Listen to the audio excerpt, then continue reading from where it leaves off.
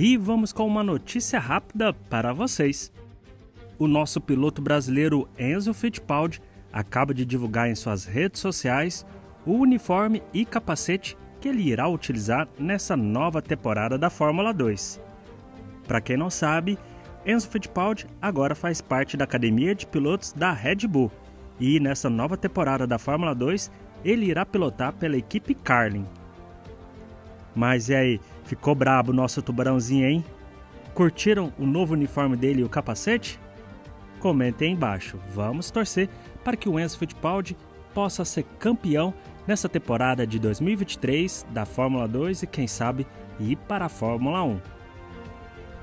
Bom, assim que tivermos mais novidades, vou trazer para vocês aqui no canal. Se curtiram o vídeo, não esqueça de deixar o seu like.